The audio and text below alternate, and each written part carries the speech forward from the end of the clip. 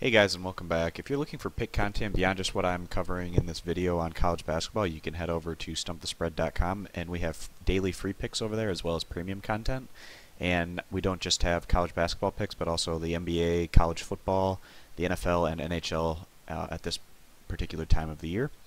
Um, if you want, you can click that thumbs up or subscribe button. That really helps us out. And if you click the subscribe button, you'll get notifications of when I release these pick videos in the future.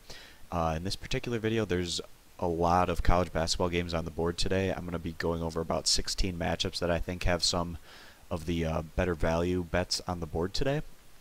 Um, since there's so many games that I'm going to be covering in this video, I'm not going to go quite into as much depth on the matchups as I would on maybe days that there aren't as many games to cover. So uh, just a heads up on that. But I'm going to be starting with UCLA against Kentucky here. UCLA getting a ton of points here uh, going into a tough road environment. UCLA played really well against Kentucky last year in an upset win for the Bruins.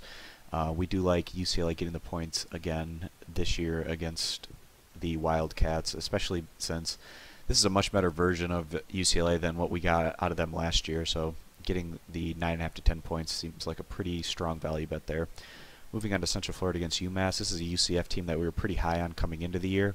Uh, UCF has looked really strong out of the gate, and now that they're working uh, one of their best players, AJ Davis, back into the mix, that should really give this group an extra boost, uh, especially on the offensive end.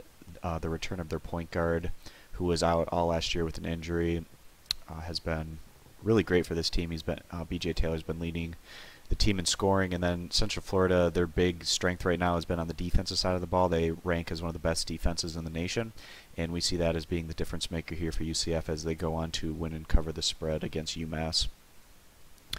Uh, next game I want to talk about is West Virginia against Virginia.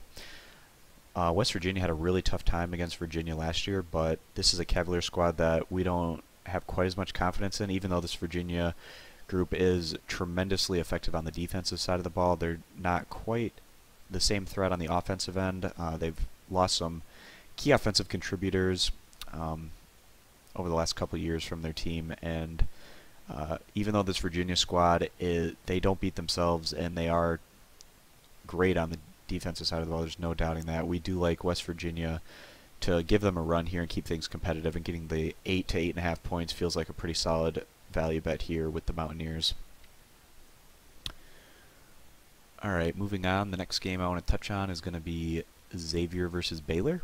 Uh, Xavier, actually, both these teams have gotten up to a really strong start this year. Um, although we do think that these groups are really talented, um, we think that neither of these squads are quite good enough to be top 10 teams. This is kind of more of a result of their them playing well early on in the year, but I don't know if this will necessarily hold once these particular teams enter their conference play. That's yet to be seen. Um, you know, Xavier, for instance, they are undefeated with some pretty nice resume wins, but they did almost lose at home against a team like Lehigh, which wouldn't have been a good result, and they went to overtime against a really bad Missouri team. So I'm still a little bit hesitant on this Xavier squad, even though they have been looking much better as of late. Um, especially on the defensive side of the ball. They've been putting up some pretty strong results, and this is a Xavier squad that does still have quite a bit of talent from returning from last year's tournament team. And then you have Baylor losing their top two players from last season's team. But uh, Baylor's actually done a tremendous job of proving themselves against a tough schedule early on, and that's really vaulted this group up the standings. I don't know if it's necessarily sustainable for Baylor, but um, they'll definitely have a chance to prove themselves uh, once they get into Big 12 play. But nothing's going to be easy for Baylor in what has been a really strong Big 12 conference in recent years from top to bottom in that particular league. But uh, this should be a pretty competitive game. Um, Baylor has the slight edge on the defensive side of the ball coming into this one, but we feel like Xavier has a pretty significant offensive edge, especially if they're knocking down their jumpers, uh, their three pointers. Um, we do think Xavier can keep this one competitive, getting the points as the better value bet in this one. Another interesting matchup here. We got Stanford against Kansas. Um, this Stanford group brings in a new head coach this year, and the cupboard isn't bare over there at Stanford. They do bring back quite a bit of uh, veteran pieces, so they should remain a factor in the middle of the Pac-12 this year. But uh, Stanford's been really struggling on the offensive side of the ball, and we think that's going to be a big uh, issue for them in this one. So with Kansas getting that home court advantage, we do like them to pull away and cover this rather large spread here as the better bet. Tulsa against Little Rock. Uh, this is a Tulsa team that opened the year extremely poorly, uh, picking up some really bad results early on, but Tulsa has picked things up going on a three-game winning streak ever since they got their leading scorer back in the mix. Uh, Arkansas Little Rock, people might remember them from the NCAA tournament last year. This was a team that won over 30 games, very impressive last year, but Little Rock isn't going to be quite the same force this year, even though they are one of the favorites in the Sun Belt. Um, this is just as a Little Rock squad that's not going to put up quite the kind of results that they did a season ago. Uh, we like what we've been seeing out of Tulsa as of late, and we do like them to kind of push the Trojans here as they go on to cover this five-point spread. Rhode Island against Providence.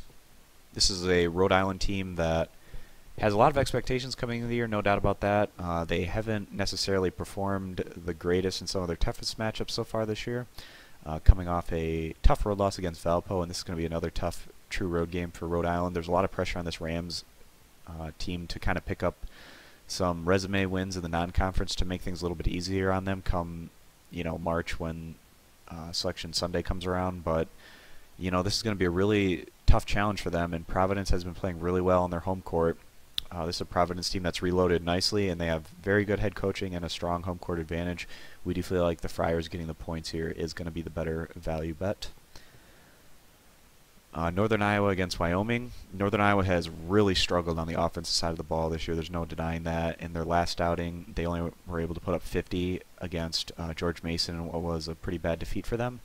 Um, going on the road here against a Wyoming team that actually has looked better than most people expected coming into the year, and Wyoming has a pretty solid home field or a home court advantage, but they're uh, with their football team playing in the uh, Mountain West Conference title game, that might affect some of the um, atmosphere over there in Wyoming. But uh, this is a Wyoming team that's remained undefeated thus far early on at home, and even though they lost their leading scorer from last year's team, uh, this Cowboys group has really been spreading the ball around a bit more evenly, and they pretty much have looked like more of a threat, at least early on this year. It'll be interesting to see if that holds up for the Cowboys once they enter conference play. But we do like Wyoming getting the points here behind their home court advantage, especially given how much Northern Iowa has struggled on the offensive side of the ball as of late.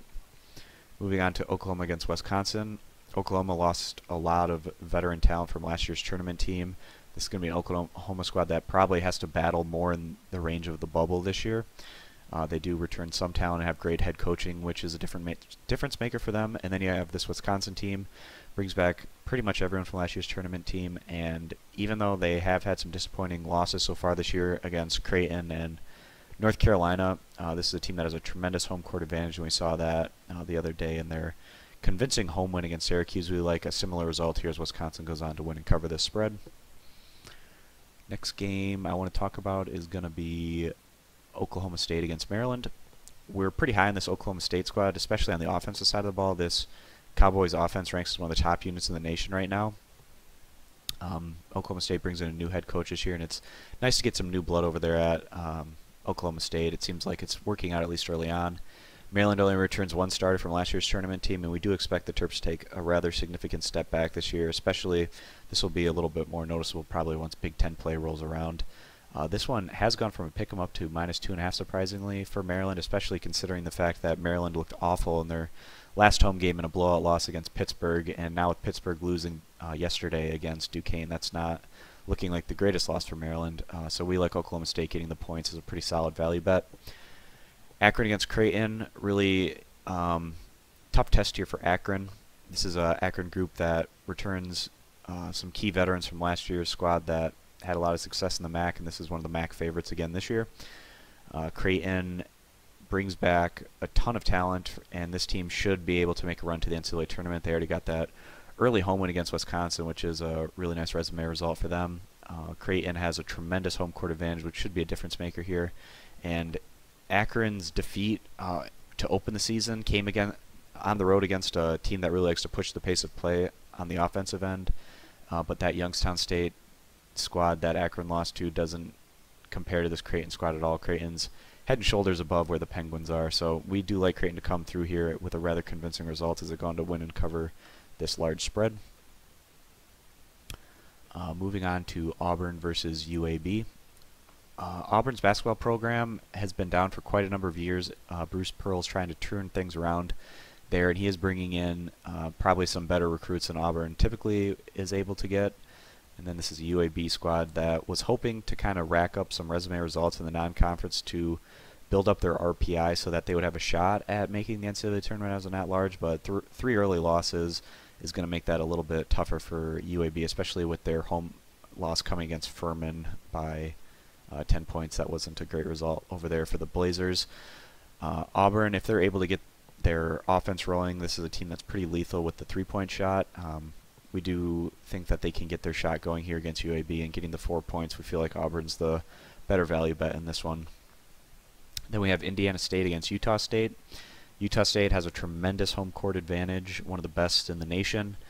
Um, that's probably one of the main reasons why this one's jumped from minus three and a half to minus six and a half. Indiana State has opened the year three and four overall, but that's a little misleading. This is a Sycamore squad that was able to, you know, push a team like Iowa State and Stanford right to the end in a game that could have gone either way in those matchups. But in this really tough road environment, we do think Utah State can build the momentum to pull away and uh, cover this moderate spread here.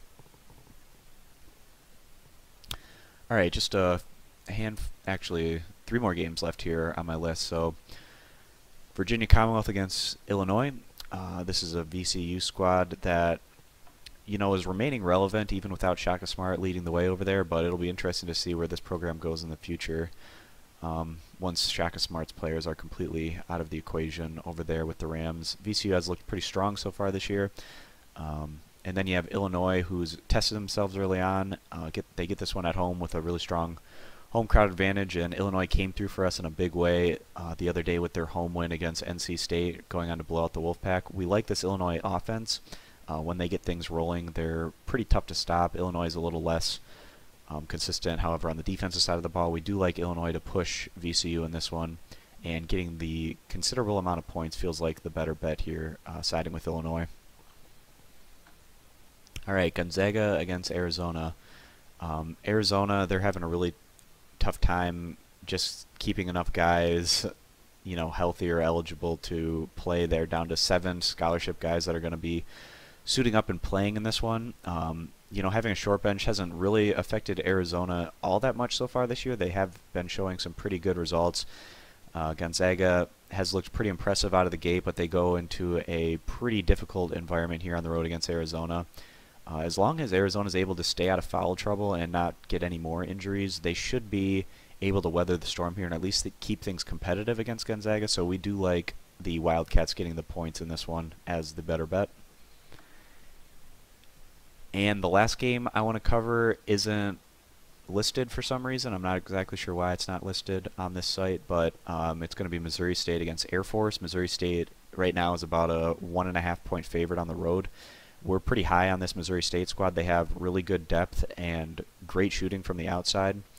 Um, they did lose one game on the road this year to DePaul. That was a game that Missouri State kind of had the um, everything was going their way, way right until the end when they kind of fell apart, and then right at the end they lost on a buzzer beater in that one. But they were able to bounce back pretty impressively, going out to blow out North Dakota State in their next outing. Uh, we do think Missouri State should be able to get things going in this one in, at Air Force.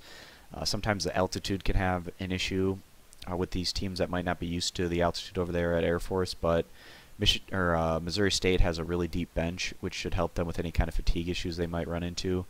Uh, Air Force opened the year impressively, but that's a little bit of fool's gold given the very easy competition they were going against. With a tougher schedule as of late, Air Force has been um, on a losing streak as a result. We think that's going to continue here for the Falcons as they go on to lose to this one against Missouri State and fall to the spread. So those are the 16 games I wanted to cover in this video. Uh, got through them pretty quickly, so not to make this video too ridiculously long. Again, if you're looking for content beyond just what I talk about in this video, you can head on over to stumpthespread.com, and if you're on desktop, you can get there just by clicking the logo right here. And I'll also link Stump the Spread in the video description if you're on mobile or just want to get to it that way. We have free and premium pick content over there, and also Again, if you can, click that thumbs up and subscribe button. It really helps us out. And that's going to be pretty much it for this video. So I will see you in the next college basketball pick video. And we have uh, college football tomorrow. Uh, I made the week 14 pick video for college football. Uh, made that earlier in the week. Um, next week we just have the Army Navy game, which is always really exciting. Uh, I'll probably make a video for that, uh, just as it's going to be a pretty short one, just because it's one matchup. But uh, and then we have bowl season after that. I'm really excited to see all the matchups we get for that. It's always a really exciting time of year for college sports with uh, the bowl season going on, and then college basketball is about halfway through the non-conference, and then once we head into January, we head into conference play, and then before you know it, it's going to be March, and we're going to get March Madness, which is arguably the most exciting sporting event uh, every year in sports. So really looking forward to that. Uh, again, I'll see you guys in the next video, and hope you have a great day. Bye.